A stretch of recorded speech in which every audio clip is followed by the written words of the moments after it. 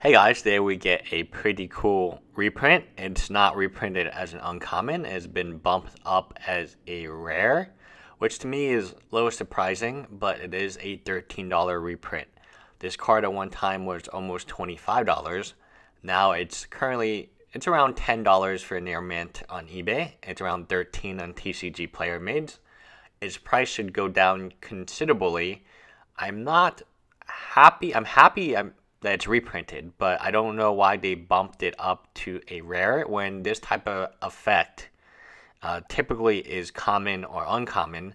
Thoughtseize being the exception in Magic's very long history of card discard spells. However, for the most part, I like the reprint.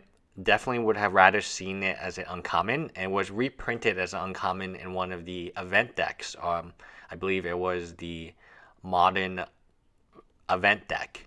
So I don't see why they had to bump it up in rarity. What do you guys feel? Uh, obviously, it's a great reprint, but do you agree with it being a rare? Do you think it should have been uncommon still? And yeah, leave me a comment below. Pretty cool to see this card back though. Bye guys.